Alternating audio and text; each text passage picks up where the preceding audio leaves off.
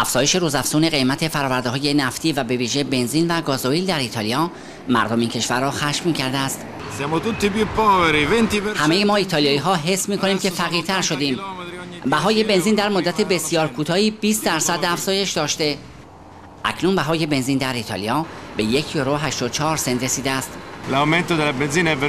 افزایش بهای بنزین واقعا شرماوره خدا را شکر که من موتور دارم و مصرف بنزینم زیاد نیست. اما آنهایی که خودرو دارن واقعا نمی‌دونن چیکار کنن. افزایش شدید قیمت سوخت در ایتالیا موجب بالا رفتن قیمت کالاهای مصرفی در این کشور شده است.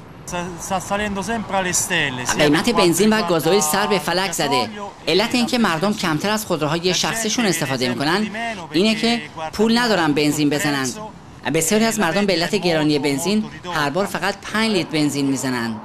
اقشار مختلف مردم در ایتالیا با اعتصاب و تظاهرات گسترده به افزایش بهای سوخت، بیکاری و وضع بد معیشتی خود اعتراض کردند.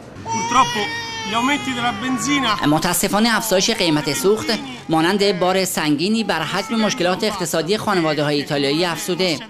این مشکلات با افزایش شایعات قطع صادرات نفت ایران به ایتالیا دوچندان شده است.